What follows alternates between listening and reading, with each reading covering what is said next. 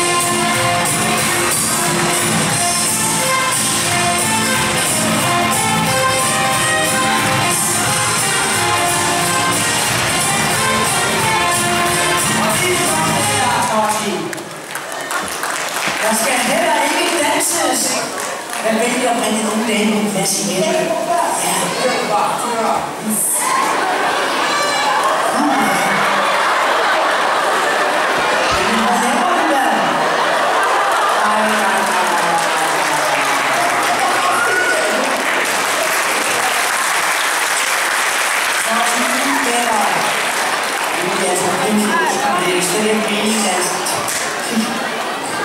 and there's the normal name I have to talk about.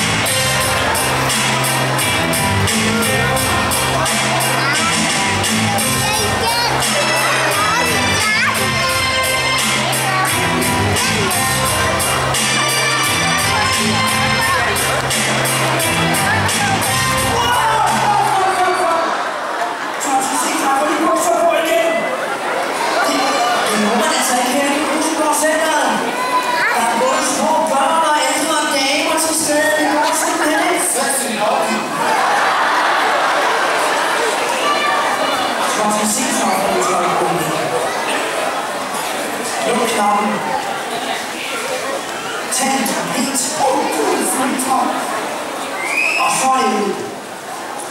Men, uden tør. Nej!